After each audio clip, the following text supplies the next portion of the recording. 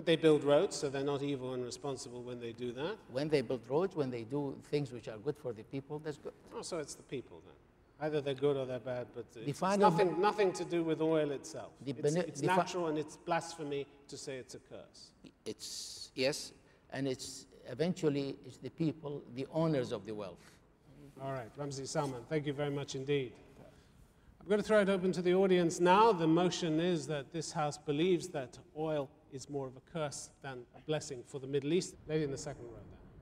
When uh, USA uh, liberated um, Kuwait from the Iraqi invasion in the second Gulf War, uh, I don't think uh, that liberation for free. I think the Gulf countries still paying for that liberation. Uh, and I think that uh, the oil is being a curse more than a blessing. And I address this question to Mr. Nawaf. Thanks. Um, well, um, there was a lot, if, you, if you're talking about monetary compensation, yes. I mean, Kuwait and Saudi Arabia had to, had to, had to basically foot most of the bill for the uh, uh, invasion at the time. That's absolutely correct, with, the, with other countries. But at the same time, oil is at the cause of having a man like Saddam Hussein and his regime out of power.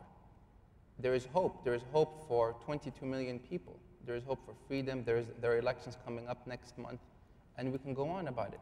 So, was it worthwhile? Yes, it was worthwhile. Is it worthwhile that Saudi Arabia will be maybe spending another couple of billion dollars in aiding the Iraqi people, as was announced yesterday? Yes, it is worthwhile. Is it worthwhile that maybe Iraq could be used as an example for a potential democratic form of government? And, I, and the key word here is potential. Yes, for the region as an example. Yes, it is. So, um, are we still paying for it? Uh, indirectly, I guess we are. But I think it's worth it. I think it's worth that a guy like Saddam Hussein is out of power and that regimes such as his are no longer acceptable in the world. And if, we, if you want to put oil as the cause of it, then oil is, it is the cause of it, and hence it's a bliss. Hossein Askari, you want to come in? Tim, as someone born in Iran, I can't let that go by. It was oil that gave Saddam Hussein the arms to invade Iran. It was oil that made the United States and the Western world interested in supplying chemical weapons that were used on Iranians. It was oil, money that Saudi Arabia and Kuwait supported Iraq with, to the tune of 40 billion on the part of the Saudis and 20 billion on the side of the Kuwaitis. And then to come and say oil money liberated it, it's like digging a hole and filling it back up again, ladies and gentlemen. That is wrong. Yes, it's the mismanagement. Of course, you don't need to be a genius to figure out that the more resources you have, the more options you have. That's a fundamental economics 101. You're better off. But it's the way that you use it. And it's been used badly. It has been abused and misused. And Salman. not blasphemy. Ramzi Salman, Yeah, want to come in? y- you're defeating your own argument because you're talking again of management, bad management. The bad management is the curse, not the oil, not the wealth. That's not the curse. The curse is the bad management, and you said it yourself. That's just semantics. That's just splitting hairs, isn't it? yeah. It's always the case of whether it's badly used or well used, isn't it? I mean, that's implied in the question. The curse is to have a bad leadership who misuse the thing. The other curse is to get a war to remove that bad re- leadership with an effect which is much more evil than the curse of oil. Gentleman up there has a question. Right at the back. Mr. Salman is insisting that it's the problem is uh, with management, bad management, bad governments. These governments did not come to power by elections, and they people cannot overthrow them. And they will continue to to- they will continue to abuse power. So in this case, it will continue to be a, a curse. How come is oil a blessing if these governments are able to come to power without elections and stay in power, presumably because of the revenues, that, oil revenues that keep them there? A sharp knife in a kitchen is a blessing when you want to cut something tough. But you can also use that knife to kill somebody. So the thing is there, it's how you use it. Oil is definitely a blessing. I owe my education, I owe everything to oil. If it wasn't for oil, I would never have the education I had. For me, it's a blessing. For many countries, for many people, it's a blessing. But if it's unfortunate case when it is in the wrong hands and misused, the income of it is misused, that's not the fault of the oil. It's the fault of the management. All right, there's a gentleman at the back who has his hand up. Can we get a microphone to him, please? My question is for the panel that's uh, arguing uh, for the motion. Don't you think that oil is the foundation in this region for development? I mean, as we've seen before, and I'm talking specifically for Qatar, uh, the main industry here was uh, pearl diving, and our friends, the Japanese, managed to develop a way to make it cheaper. If you have uh, such a strong natural resource here, such as oil and gas, then why don't you use it for development? I mean, oil is not a curse. Without oil, I don't think you'll be, ha- you'll be having open education. I don't think you'll have open debates here, and I don't think you'll have a new science and uh, research center just across the street there. Thank you. Hossein Askari, you're shaking your head. Because I think that we are not here, as you said, Tim, we shouldn't be splitting hairs. It says, I think the motion is very, very clear.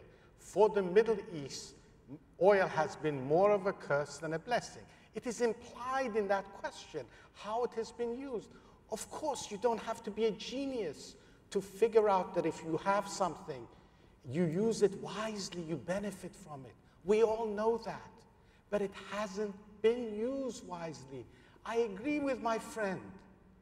I will put my neck on the block. I agree with you wholeheartedly. And I will say the same thing if you have a sword, that sharp knife of yours, in the kitchen that's ready to cut. I will admit it to you that if we use oil wisely, it's a benefit. We should have been investing this in abroad. We should have invested it domestically to generate future income. But we haven't done it. And that is why it has been more of a curse. We have used it to kill each other. That's what we've done. Okay, Carole Nakhle, very briefly, a lot of hands up, a lot of questions we want to get. to. Yes, you all refer to education. Just to remind you that Lebanon, before the civil war, unfortunately, had prob- most probably the best schools, the best hospitals in the region, and didn't need oil to do that. There's a lady in red who's been putting up her hand. Many years from now, do you, do you think that uh, these countries who have oil will be less independent of the foreigners who come ch- uh, to work here? Nawaf That's an excellent question. Wow. I mean, what this proves how the oil, how, how oil revenues have helped create an indigenous workforce. For example, in Saudi Arabia, 90% of the Aramco employees that deal with the oil fields, the engineers, you know, the geologists, are Saudi. They've been trained abroad. They go on scholarship and so forth, but they ultimately come back and they're Saudi. The ones that work on the fields are Saudi. We just did it. We just, we just finished doing an estimate.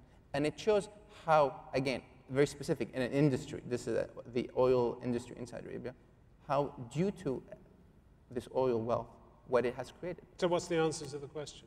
Has created that there, there is already a lot of, there's less dependence. I mean, on, on, on the technical know-how, but because of the inter, interoperability of, you know, of the global community today, there will always be some form of relationship where obviously certain technologies will be, uh, will be created in the West and so forth. So it won't be, a, the dependence is lessening, but there will always be a relationship. You Right, can't, Carole you can't do otherwise. You want to say something very briefly? Yes, you refer to, the, to a national company, but don't forget that in the Gulf area and the Middle East in general, the private companies are really struggling to replace expatriates by nationals. Private companies such as what? Look around you, read the newspapers, and you will What, see. what private? Oil industry companies? Not only in, not in the oil industry, no, we're in the talking about oil. industries. I mean, she was talking about the oil industry. here. Ramzi Yeah, Salman, you wanted to I say think this is an element of the population. The population of the Gulf countries in uh, 1969 was 43 million total, including Iran. Now it's 123 million. They say three times as many. So the more you have population growth and they develop, and then you will have less need for foreign uh, labor. This is only a question, but in the past, you, had, you did not have the population and you did not have the qualified people. In time, with growth of population, because of the wealth as well, and better health services and uh, thing, of, course, there is an element that when people get rich, have less children, but this is not uh, the case. All, all right. Just a reminder of the motion that we have at the moment. The House believes that oil has been more of a curse than a blessing for the Middle East.